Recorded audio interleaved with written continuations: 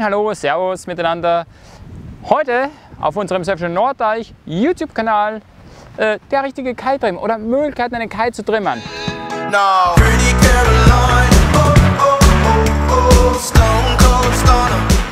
Mein Name ist Michael Vogel und ich führe euch jetzt durchs Programm. Los geht's!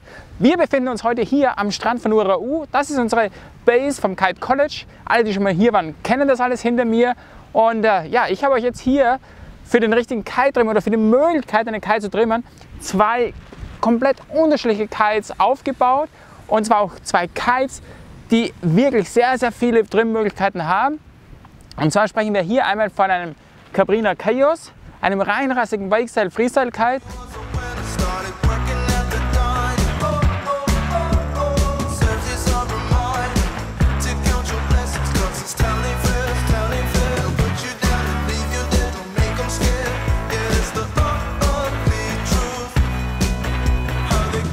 Und auf der anderen Seite einen reinrassigen Wave Kite. Und das sind so die beiden Kategorien, wo man den Endverbraucher, sprich uns, zutraut, einen Kite auch noch selber so weit zu trimmern, damit man auf seine persönlichen Bedürfnisse abstimmt. Alle anderen Kites, die, die man so kennt, äh, in der klassischen Freeride-Kategorie, da versucht man die Trim-Möglichkeiten so gering wie möglich zu halten, weil natürlich der Trim auch ja einiges an aerodynamischem Verständnis mit voraussetzt, damit man seinen Kite, ja, der vielleicht am Anfang bei der Werksauslieferung richtig gut getrimmt ist, am Schluss komplett vertrimmt ist und man das Gefühl hat, oh, sein Kite funktioniert nicht mehr richtig. Deshalb habe ich jetzt mal zwei komplett, wirklich komplett unterschiedliche Kites für euch rausgesucht, damit ihr eine Erfahrung oder eine Einschätzung bekommt, wie einfach oder wie kompliziert ist es, einen Kite ja, wirklich mal so für seine individuellen Bedürfnisse zu trimmern. Und wir schauen uns das mal an und dafür gehen wir erstmal ein bisschen näher zu den Kites ran.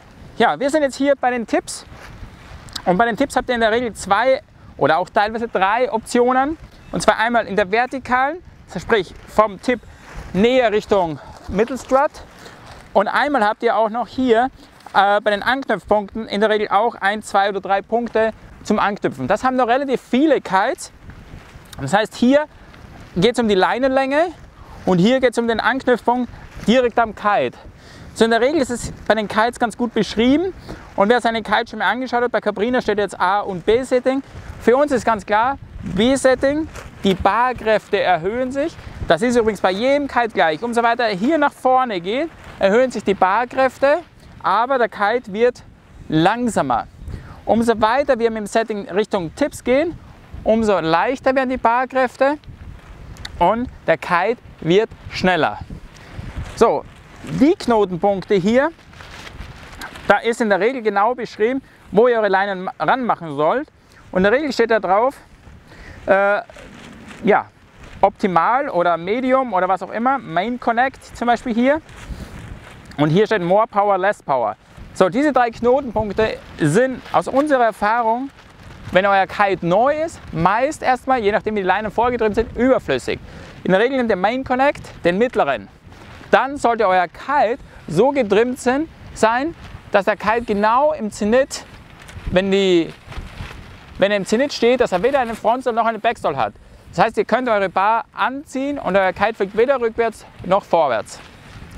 Sollte das nicht mehr der Fall sein, angenommen euer Kite, fangen wir mal an, fliegt immer rückwärts, das kennen vielleicht einige von euch, dann habt ihr die Möglichkeit, über diese drei Knotenpunkte das zu verändern. Das heißt, wenn der Kite immer rückwärts fliegt in den Backstall, könnt ihr hier weiter bei der Knotenleiter nach außen gehen. Damit verlängert ihr eure Steuerleinen und könnt unter anderem vielleicht eine vertrimmte Leine so auf, ja, erstmal kurzfristig äh, wieder so trimmen, dass euer Kite wieder in dieser Nullposition ist. Habt ihr immer wieder Probleme mit eurem Kite, dass er Frontstall hat, dann habe ich hier bei den Steuerleinen die Möglichkeit, praktisch weiter nach innen zu gehen. So, im optimalen Fall, wenn ihr merkt, ah okay, ich muss hier schon irgendwas korrigieren, dann ist es aber auch allerhöchste Zeit, und das solltet ihr sowieso regelmäßig machen, eure Leinen an der Bar zu checken. Die sollten immer gleich lang sein. Wie man das macht, das zeigen wir euch in einer weiteren Folge, wie man eine Bar trimmt. Also hier habt ihr Verstellmöglichkeiten, um eure vertrimmten Leinen wieder einigermaßen auf diese Nullposition zu bekommen. Das sagt euch sowieso der Kite, wenn ihr, bevor ihr in die Kite-Session geht, seht, euer Kite neigt, Frontstall oder Backstall zu machen, dann könnt ihr hier umtrimmen. oft und sehr häufig beobachtet, äh, ist, dass gerne bei Low Wind hier der innerste Knoten gemacht, genommen wird. So, alle, die jetzt schon länger bei unserem Kanal dabei sind, wissen, oh, oh, oh, schwierig, denn was passiert denn? Ja, gefühlt hat man vielleicht ein bisschen mehr Zug auf der Bar, aber die Kappe, wenn das jetzt null ist, das unsere Anströmkante ist, so, dann stelle ich so, jetzt mache ich, gehe nach innen, an den innersten Knoten, so, jetzt seht ihr natürlich auch mehr Fläche von meiner Hand, mehr Fläche heißt aber auch mehr Zug nach Lee, mehr Widerstand. Das heißt, diesen Widerstand müsst ihr über eure Beine erstmal wegdrücken, damit ihr überhaupt Höhe laufen könnt. Alle, die länger dabei sind, wissen, Höhe laufen funktioniert besser, wenn die Nase vorne ein bisschen runterschaut, wenn möglichst wenig Widerstand da ist. Wenn man, ne, dann habe ich mit relativ wenig Technik es sehr, sehr einfach, Höhe zu laufen. Hier wird es eher schwieriger. Deshalb meine Empfehlung an euch, nicht den innersten Knoten nehmen, um bei Low Wind bei 10, 11, 12 Knoten für euch äh, mehr Höhe zu regenerieren, sondern bleibt beim mittleren und eher den Trim über einen Adjuster einstellen. Weil es ist hier nichts anderes, ihr verkürzt oder verlängert hier euren Adjusterweg. Was anderes passiert hier nicht. Das ist eigentlich dafür gedacht, eben um eure Leinen anzupassen, wenn da irgendwie was vertrimmt sein sollte. Bei den Steuerleinen. So, wir befinden uns hier bei, der, ja, bei den Anknüpfpunkt für die Diebauerleine. Und das ist jetzt ein bisschen spezieller, weil das ein reinrassiger Freestyle-Wakestyle-Kite ist. Und da geht es auch um den Line-and-Slack. Ja, Line-and-Slack heißt, äh, ich springe ab, anhuckt und möchte irgendwann zu einem gewissen Zeitpunkt, dass der Kite möglichst leicht ist, verschwindet, damit ich die Passes leichter machen kann. Und dafür äh, gibt es bei den Wakestyle Freestyle Kites äh, gewisse Settings und die kann ich mir ja, auf individuell auf den Fahrer, auf die Bedingungen an, ja, einstellen. Aber das zeigt uns auch hier, welche Möglichkeiten, welche Vielfalt es gibt. Weil da braucht man jetzt ein bisschen aerodynamisches Verständnis, was das Windfenster angeht. Was passiert denn überhaupt? Äh, was verändere ich denn? Und jetzt sieht man hier, äh, es ist so schön beschrieben, Slack und dann kommt auch noch hier plus minus Slack eben und aber auch Debauer minus und plus. Das heißt plus Debauer, die Debauer wird höher, wenn wir hier weiter vorne anknüpfen und wenn wir dann genauer hinschauen, sind diese Connecting Points unterschiedlich lang. Das heißt, minus Debauer, umso weiter ich nach hinten gehe, umso steiler steht der Kalb wieder im Windfenster, umso weniger Debauer habe ich aber umso mehr Slack, weil umso tiefer der Kite vorm Absprung mit dem Windfenster nach hinten geht, umso größer wird mein Slack ausfallen. Äh, das heißt, da habe ich drei Punkte. In der Regel gilt es aber auch, umso weiter wir hier vorwandern, umso leichter oder umso größer werden die Barkräfte, umso ruhiger wird der Kite, umso weiter wir nach hinten wandern, umso agiler wird der Kite wieder. Hier ist jetzt speziell eben noch mal der individuelle Trim, einmal wieder horizontal, einmal auch wieder vertikal, damit ich nicht nur die Debauer, sondern auch den Slack hier beeinflussen kann. Dann weiters haben wir, wenn wir weiter vorne reinschauen und weil es so schön ist, ja, tatsächlich, wir haben, wenn ihr mitgezählt habt, hier eins, zwei und jetzt gibt es hier noch eine Leine. Und äh, ja, wir haben drei, wir haben insgesamt vorne sechs Anknüpfpunkte und das ist ein C-Kite. Die meisten C-Kites sind vom Markt verschwunden, weil die zu speziell sind. Die Windrange ist zu klein und ihr braucht viel zu viele Kites. Ja, äh, ist einfach ja, nicht, äh, die Bauer ist kleiner, Windbereich ist kleiner und der ganze Einsatzbereich ist definitiv kleiner. Aber wenn man so gerne Freestyle Wakestyle ist, dann ist so CK schon das Nonplusultra noch. Bei Caprina ist der Nachfolger der FX, der daran angelehnt ist und der natürlich für mich auch locker reicht. Aber weil man heute sein C-Kite-Liebhaber ist, hat man die noch. Deshalb habe ich auch hier noch einen Anknüpfpunkt mehr. Der ist dafür da, dass er schön die Form hält vom C, dass sich der Schirm bloß nicht zum Jellyfischen anfängt. Und ich habe natürlich hier auch noch mit drei Anknüpfpunkte in der Vertikalen, damit ich die anpassen kann an mein Setting, das ich vorher außen schon getroffen habe.